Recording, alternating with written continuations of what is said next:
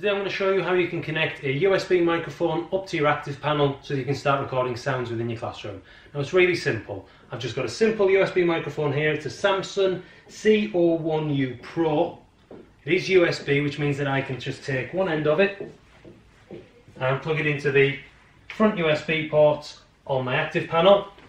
Give it a few seconds and I can see a green light appear on my microphone which tells me that it is working. Okay, I'm then going to go to an app which I've downloaded. This is a free version, so I might experience a few ads, but you can get paid versions which remove that. I'm then ready to just go. I'm recording this for Promethean. I can then give it a name.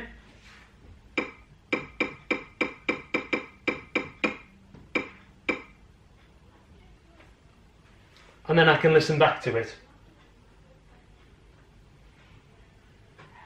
I'm recording this for Promethean. Now you may want to use this if you are wanting to record children for a certain reason, maybe you're recording some poetry or reciting something. You could even use it because it's got the equalizer on this app to monitor noise levels within your classroom. So there's a few ways that you could use it and it's really simple.